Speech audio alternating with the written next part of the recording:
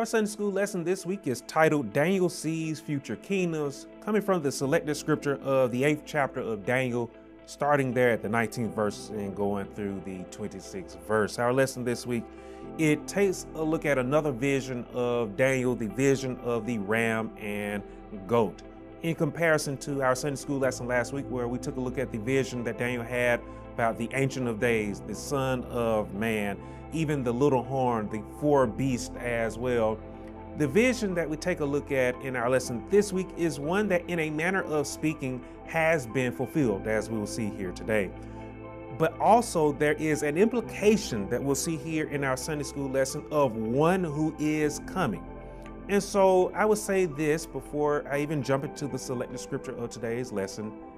If you missed my sermon from last week, where again I preached about being onward to victory. If you did not watch, if you did not listen to that sermon, I would highly recommend you after after watching this lesson or listening to this lesson, go back and, and watch last week or listen to last week's sermon because the one who we will mention here in our Sunday school lesson today, I dove much deeper into in my sermon last week. So again, I would highly, I would highly recommend that as well. Now, Giving understanding of this vision to Daniel is the angel mentioned there in the 16th verse, Gabriel. This is actually Gabriel's first mention in Scripture. We see him later in New Testament Scripture, specifically uh, before the birth of Christ, when Gabriel came to Mary and and spoke to Mary about her giving birth to Christ. So this again, I want you to understand Daniel, he struggled to understand this vision as we saw in our Sunday school lesson last week and in my sermon that I preached last week. And so he needed more clarity, he needed more understanding.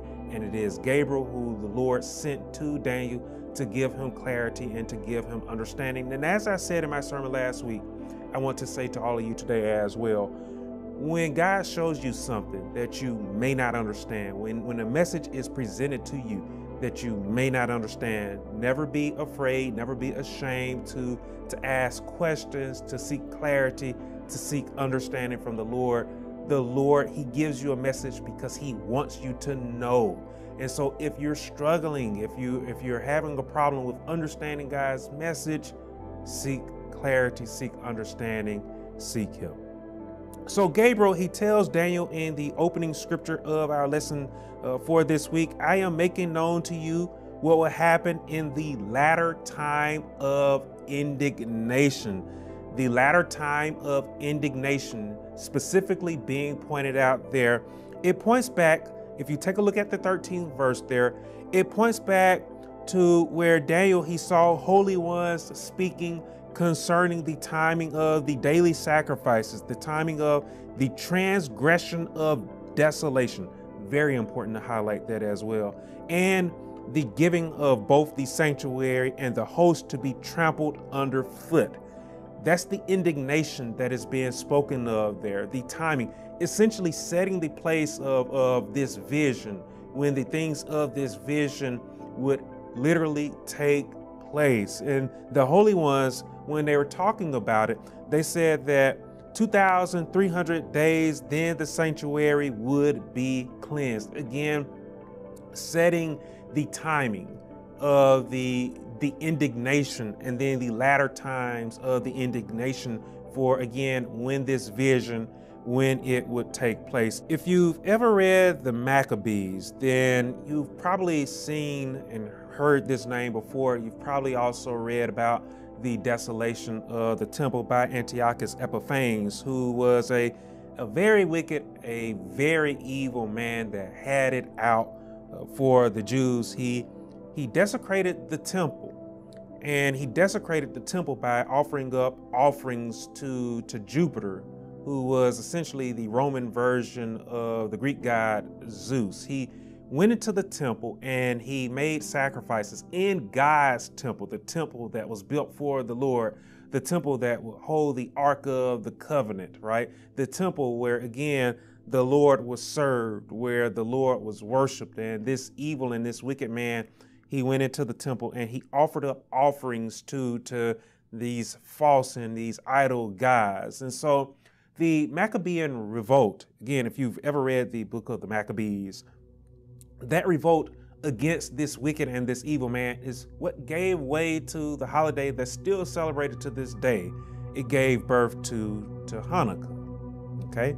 So Gabriel, he makes this vision, he makes this timing, he makes it well more clear uh, for Daniel when we take a look at the 20th verse where Gabriel he explains in that verse what the ram and and what the goat what they represented. He said there in that verse that the ram that it represented the kings of the Medes and, and Persia.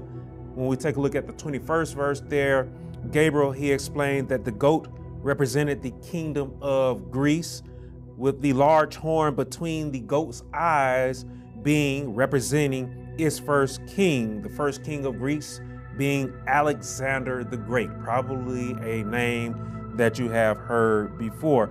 Now, if you take a look back at the fifth verse, again, taking a look at Daniel's vision, the goat, the scripture tells us there, it came up sudden and it went across the earth, the scripture says, without touching the ground. Now, that does not speak to Greece having an airplane and moving across the surface by being able to fly.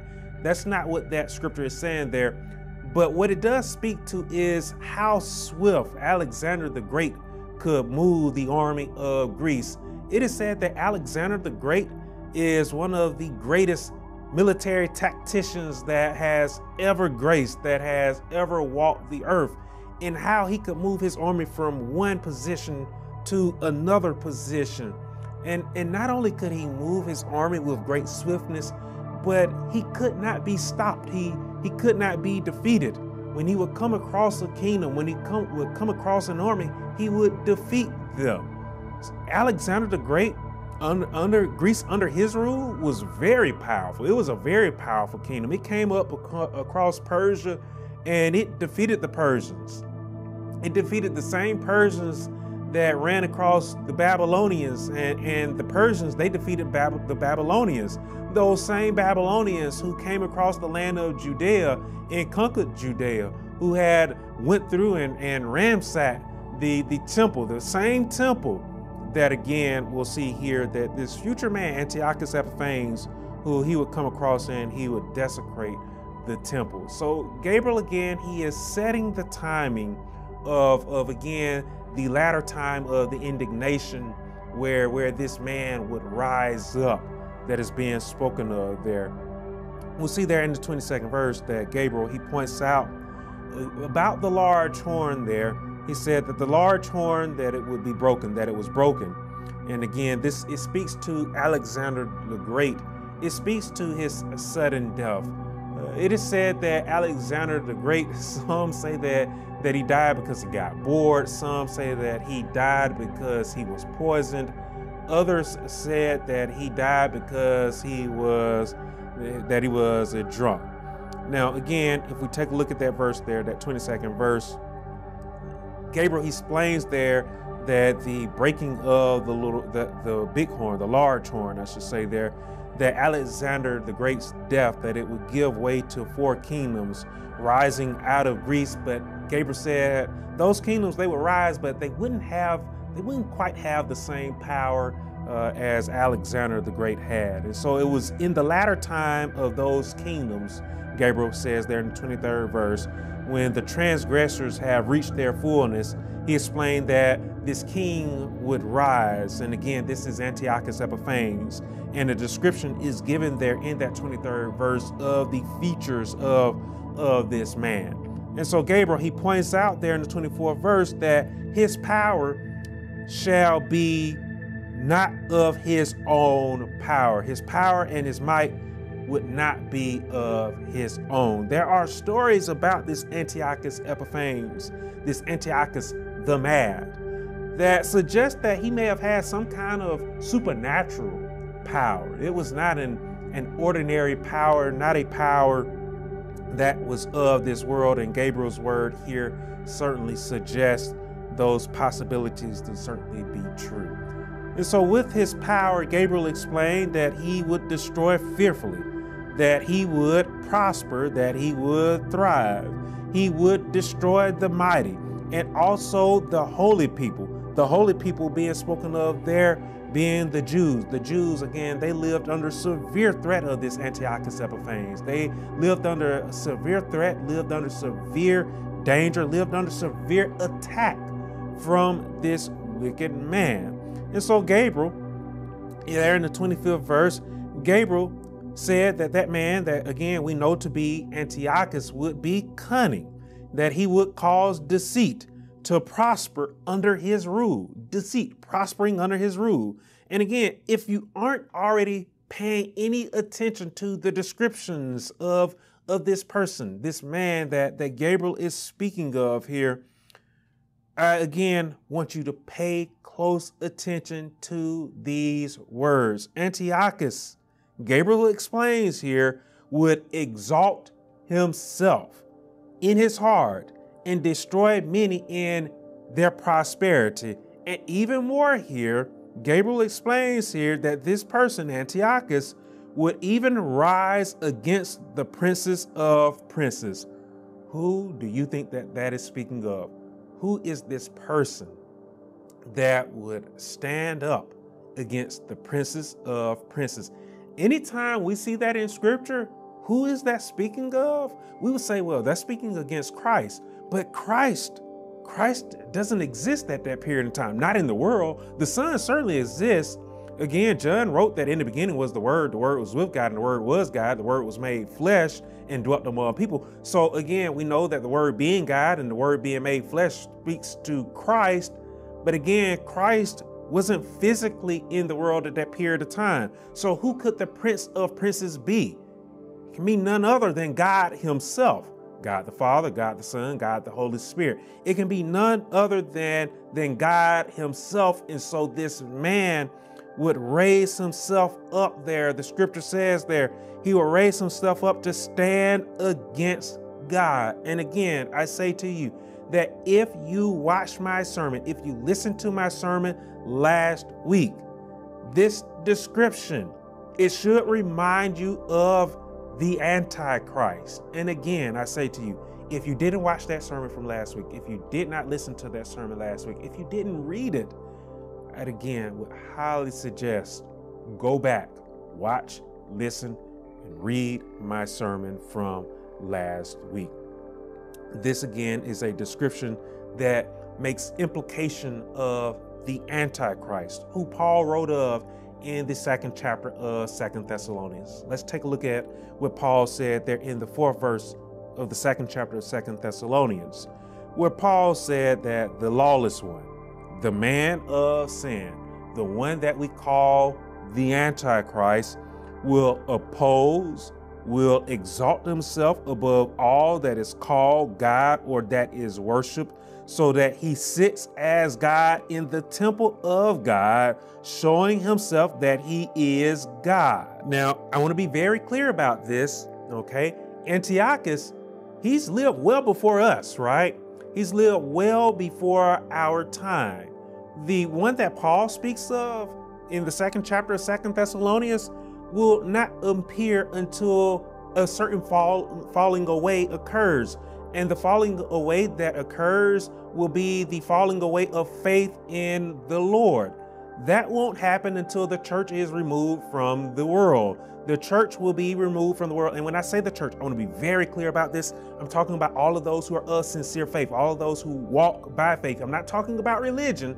I'm talking about those who sincerely believe in the Lord and his only begotten Son we will be removed from this world, not by the hands of man, but because Christ will come again and receive us to himself, as he says in the 14th chapter of John's Gospel.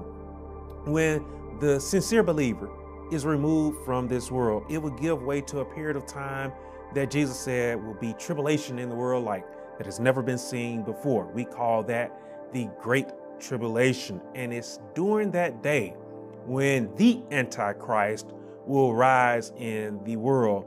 Antiochus Epiphanes, he's merely an implication of what the Antichrist will be like. And again, I will give you all of you some homework again to watch my sermon from last week because I dove more into the second chapter of Second Thessalonians to where we see the things that the, the person of Antichrist will come in this world and will actually do.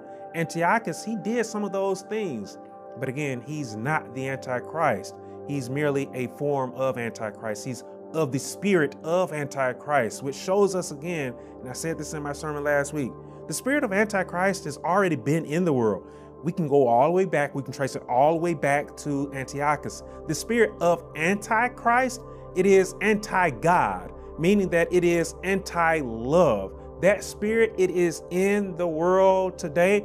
And again, I suggest all of you, you go and watch my sermon from last week. Listen to my sermon from last week because I certainly I spoke a great deal of that as well. So the spirit of Antichrist is in the world today. We can trace it all the way back to Antiochus, who was a man who was against God. He, as the scripture says there, he stood against God.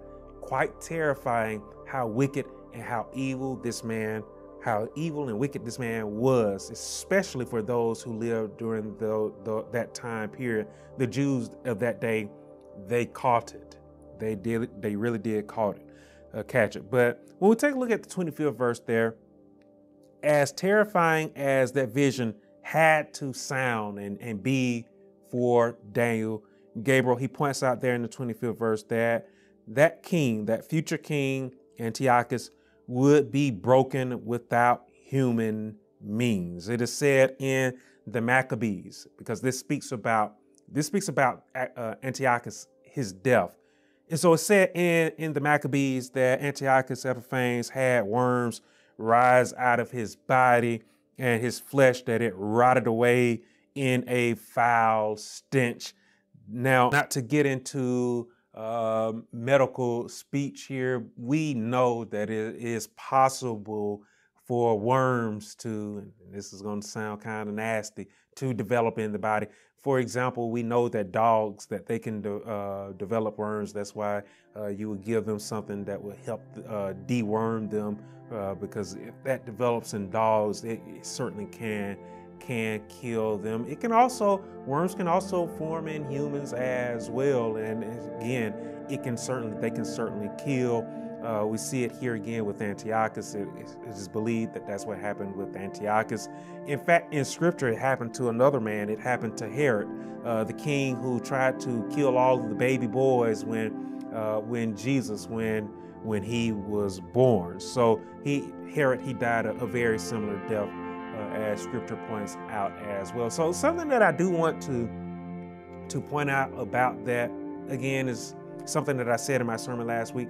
We may live in some terrible times with, with the wicked and the evil, but again, God will not allow us to be defeated. I said that a couple of Sundays ago.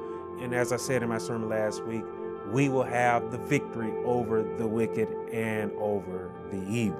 So, Gabriel, he said there in the uh, 26th verse, in conclusion, there, that the vision of the evenings and mornings, which were told they are true. And again, the reason why they are true is because guess who they came from? Who did Daniel's visions, who did they come from? They came from the Lord, right?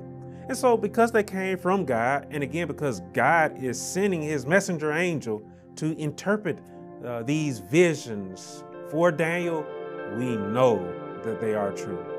And so, we should take them as truth, right? It's a vision that, that certainly was filled. Okay, it happened. We can go back and look at history to see where it, where it happened. But again, the implication, what it implies is that there is one who's going to come, as scripture shows us, who is going to come in such manner of wickedness, who is going to come in such manner of evil. And as I asked in my sermon last week, should we be fearful of the wicked? Should we be fearful of the evil? Should we be afraid of them? In other words, should we be anxious about their doings? Should we be worried about the possibility of, of us facing harm, hurt, danger from the wicked and, and from the evil? It is again, it's part of our nature to certainly to worry about what the wicked and, and what the evil, what they are up to, potentially being harmed by by the wicked and by the evil.